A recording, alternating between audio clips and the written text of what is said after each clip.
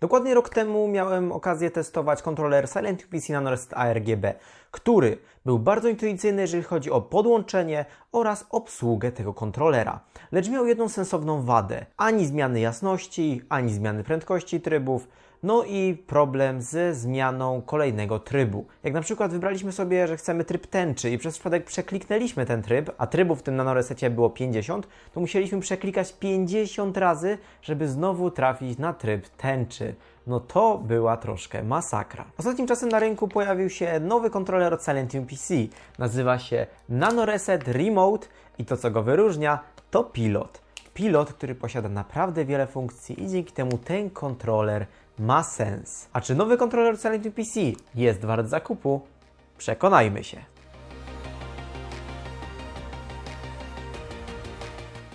Najnowszy nanoreset ARGB przede wszystkim wyróżnia pilot, którego nie uświadczymy w poprzedniej wersji kontrolera tej marki.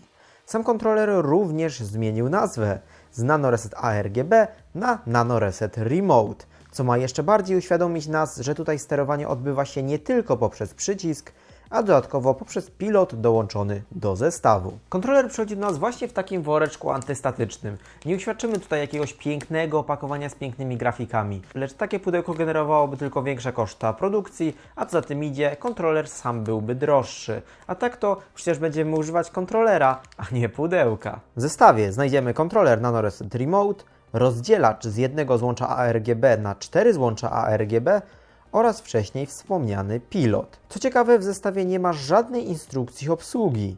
Natomiast na samym pakowaniu widnieje informacja, iż więcej informacji znajdziemy na stronie producenta. Sprawdźmy, co tam się znajduje. Na stronie znajdziemy takie informacje jak opis naszego sprzętu, grafikę ukazującą sposób podłączenia kontrolera, grafikę ukazującą kompatybilne produkty, interaktywną tablicę, dzięki której możemy zerknąć na dostępne tryby, jakie posiada Nano Reset Remote, no i na samym końcu w formie PDF-u instrukcję obsługi, która opisuje sposób podłączenia oraz opis wszystkich klawiszy w naszym pilocie. Tutaj macie wymiary przewodów, wymiary samego kontrolera, a tutaj wymiary pilota. Teraz szybki poradnik, czyli pokaz tego, w jaki sposób podłączyć ten kontroler pod nasz komputer. Podłączenie jest ogólnie genialnie proste. Z jednej strony podłączamy nasze zasilanie, a więc przewód SATA z naszego zasilacza, natomiast z drugiej strony podłączamy paski ARGB czy wentylatory ARGB. Ten kontroler obsługuje wszystkie paski czy wentylatory ARGB, które są zasilane napięciem 5V oraz mają standardową wtyczkę 3-pinową ARGB, czyli na przykład korony ARGB, stelle ARGB, paski od Silentium PC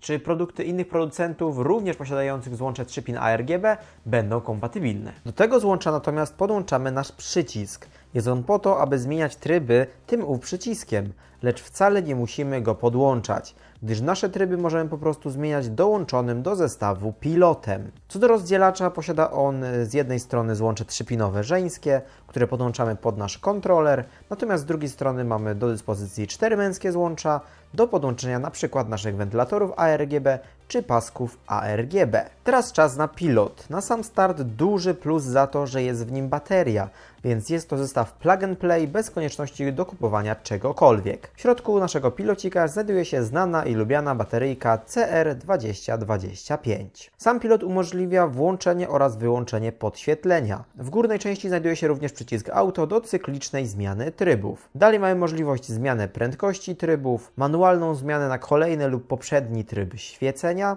zmiany jasności, 11 predefiniowanych kolorów stałych oraz przycisk lock umożliwiający parowanie pilota z kontrolerem. No to teraz przyszedł czas na praktyczny test świecenia tych wentylatorów. Przygotowałem całą śmietankę LEDową, czyli Corona Evo ARGB, Stella ARGB, paski Aurora Stripes oraz mojego autorskiego Duala Evo ARGB. Cztery różne podświetlenia, jeden ten sam kontroler. Tak mówię, mam tutaj całą śmietankę towarzyską, czyli Corona Evo ARGB, Stella ARGB, Dual Evo ARGB oraz pasek Aurora Stripes ARGB.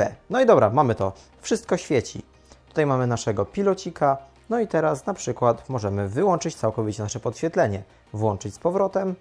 Teraz ustawmy minimalną jasność, jaka jest dostępna. To jest minimalna jasność. Powiedzmy, wybierzemy sobie na jakimś kolorze i teraz ustawmy maksymalną jasność. No i wygląda w następujący sposób. Teraz przejdźmy sobie jeszcze do jakiegoś trybu, na przykład tego. I teraz znowu ustawiamy minimalną prędkość tym razem To jest minimalna prędkość. No i teraz ustawmy maksymalną prędkość. No i tak wygląda maksymalna prędkość tego kontrolera. Tak jak wcześniej wspomniałem, tryb auto, czyli przełączanie się poprzez kolejne tryby co jakiś czas. Następnie 11 predefiniowanych kolorów stałych, taką podstawę czerwony, zielony, niebieski, tak wygląda kolor biały, no i na przykład jeszcze różowy lub pomarańczowy. Teraz na przykład przejdźmy do jakichś losowych trybów, żeby zobaczyć jak to wszystko wygląda. No i teraz możecie ocenić, czy takie tryby Wam się podobają, czy nie. Jeżeli jakieś tryby mogą wydawać Wam się niepłynne, to pamiętajcie, że możecie zwiększyć lub zmniejszyć prędkość danego trybu i wtedy podbędziecie się tego efektu. No i sam muszę przyznać, że te efekty są dosłownie takie same jak w kontrolerze NanoReset ARGB. No ale ten pilot jednak robi robotę. Możliwość zmiany prędkości czy jasności, czy w każdym momencie wyłączenie czy włączenie podświetlenia to jest coś, czego naprawdę brakowało w starym NanoReset ARGB. A teraz mamy to wszystko dostępne z poziomu pilota. No i w taki sposób prezentuje się najnowszy kontroler od Silentium PC. Jeżeli chcielibyście go zakupić, to oczywiście linka macie w opisie, a jeżeli na przykład potrzebowalibyście rozdzielacza na więcej wyjść, oczywiście rozdzielacza ARGB, to zerknijcie również do linku w opisie, gdzie takie rozdzielacze możecie kupić. Na 2, na 5, a nawet na 10 wyjść, więc naprawdę warto. Jeżeli macie jeszcze jakieś pytania odnośnie tego kontrolera, to oczywiście zadawajcie je w komentarzach, a ja bardzo chętnie Wam na te pytania odpowiem. Ja Wam bardzo dziękuję i widzimy się w następnych odcinkach. Cześć!